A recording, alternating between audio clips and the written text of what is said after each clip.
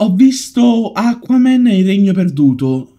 La DC sta pian piano morendo, anzi, è già morta.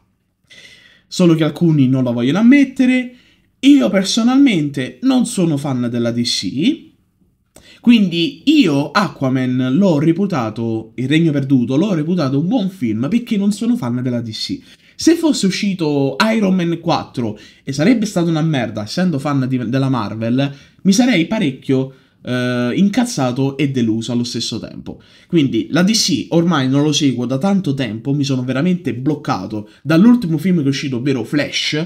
Io da Flash non ho mai più visto un film della DC, a parte Aquaman e il Regno Perduto, non mi sono più interessato alla DC per nessun altro, per nessun niente al mondo.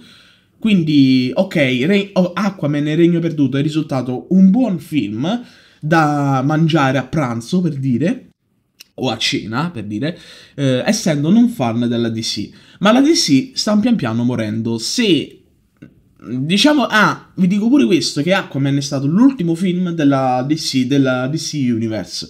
Quindi, ok, non stanno facendo un buon lavoro e l'unica cosa che posso dire a mia esperienza è non fate cazzate.